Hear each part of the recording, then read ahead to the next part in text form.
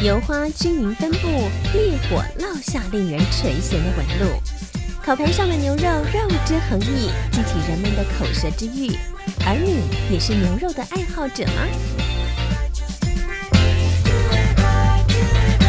现在台湾人比较注重吃，然后也很注重体态。牛肉这个产品呢，它的营养成分很丰富，比如说氨基酸、蛋白质、铁质、矿物质、锌、铁、锰等等。我们为了要得到这些营养，但是又不想要吃太多的话，我觉得牛肉是一个很好的一个选项。牛肉产地百百种，而这个协会坚持为美国牛肉进口协调把关，希望将符合台湾人口味的美国牛。透过与各大店家配合，直送每个老饕口中。台湾消费者选牛肉的时候，选是第一个是没有草腥味的，啊，第二个是比较嫩的，比较容易烹调的这几个很大的原则。美国养牛业者呢其实刚好也有符合这样的一个需求，因为我们第一个是谷物饲养的，所以我们的牛养出来的时候基本上是没有草腥味的，牛只是比较年轻的。所以它的肉质是比较嫩的，而肉的颜色越年轻的牛呢，颜色就是樱红色。用这样的一个方法去饲养牛只，牛肉会变得更好吃。美国农业部针对食品安全研发出 HACCP 管理系统，从生产到出口进行监控，由养牛业者配合科学化管理，肉品在取得 USDA 认证后才算确保安全。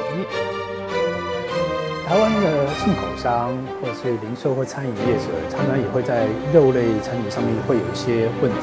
美国肉类出口协会之所以是成为协会，就是要协助各位嘛，不能只站在协会的立场去看这个事情，而是要反过来从很多不同的业者的立场去看这个事情，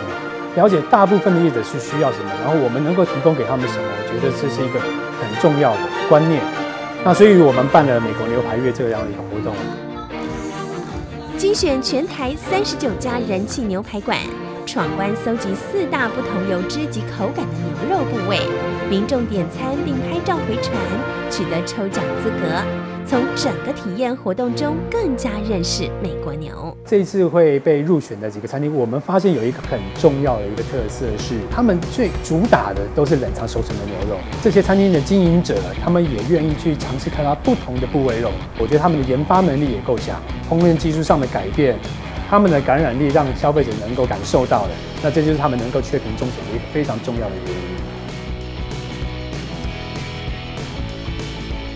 其实大概在活动开始前的两个月，我们就已经开始在准备了。这一次的美国牛排月 c a s e y Raw House 主推的产品是热眼牛排，还有火烤德州牛排。热眼它的油花本来就比较丰富，口感上面它是可以感受到更香滑的。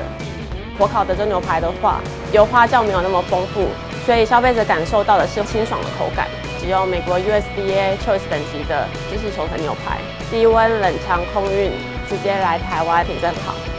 我们和牛主打的商品是热眼星沙朗，还有热眼这两个部位。热眼星沙朗盎司数比较大，满足度非常高。热眼经过烧烤之后，它的油香气配合上盖肉、老饕肉，整体合并起来，客人接受度也最高。这个活动办起来的主要目的是在推广新的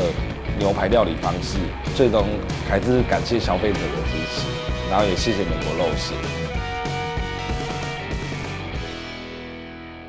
我们需要更努力去做商品的监控，提供更安全的产品给台湾消费者，举办更多跟消费者有关的一些行销活动，让消费者能接触到更多不一样的产品。这么多年来，餐饮业者、零售业者能够协助我们，跟我们一起合作，然后完成这样的一个愿望。希望未来我们能够满足各位业者的需求，也满足消费者的需求。我觉得这是我们应该为台湾尽到的一些社会责任或者是义务。